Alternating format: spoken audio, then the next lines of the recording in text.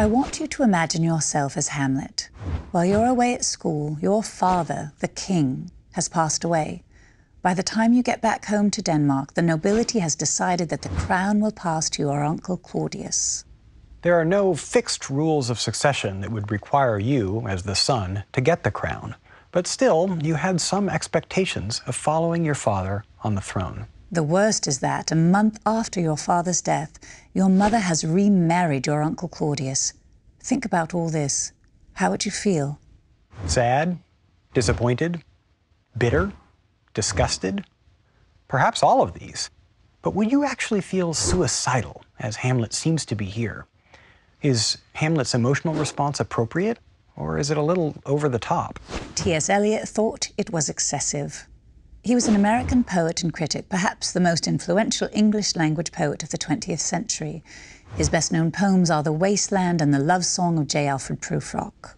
Eliot famously called this play an artistic failure because Hamlet's emotions are too strong in comparison to the cause of his distress, that is, his mother's over hasty remarriage to his uncle. As Eliot expressed it, Hamlet is dominated by an emotion which is inexpressible, because it is in excess of the facts as they appear. Hamlet is up against the difficulty that his disgust is occasioned by his mother, but that his mother is not an adequate equivalent for it. His disgust exceeds her. Another critic from the same period, A.C. Bradley, disagrees entirely with Eliot. Bradley was a professor of poetry at Oxford, and his lectures on Shakespeare were incredibly influential. These lectures were published later as a book called Shakespearean Tragedy, and it's worth reading today. Bradley believed that Hamlet's disgust isn't simply that his mother has remarried, but at what that reveals about her true nature. As Bradley puts it, Hamlet was forced to see in her action not only an astounding shallowness of feeling, but an eruption of coarse sensuality, rank and gross, speeding post haste to its horrible delight.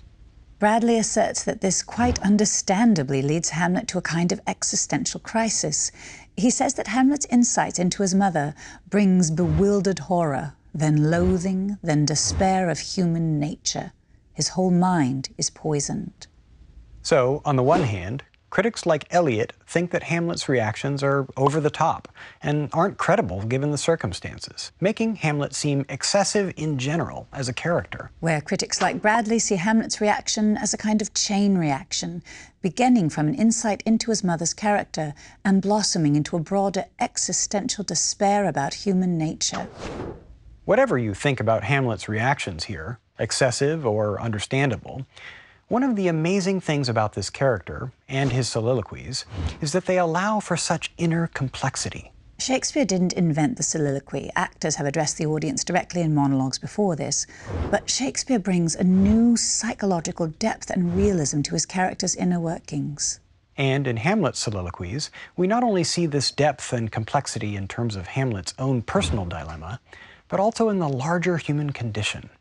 Hamlet's complexities help us see the complexities within our own sense of self. As one celebrated critic, Harold Bloom, puts it in his book Shakespeare Invention of the Human, we hardly can think about ourselves as separate selves without thinking about Hamlet, whether or not we are aware that we are recalling him.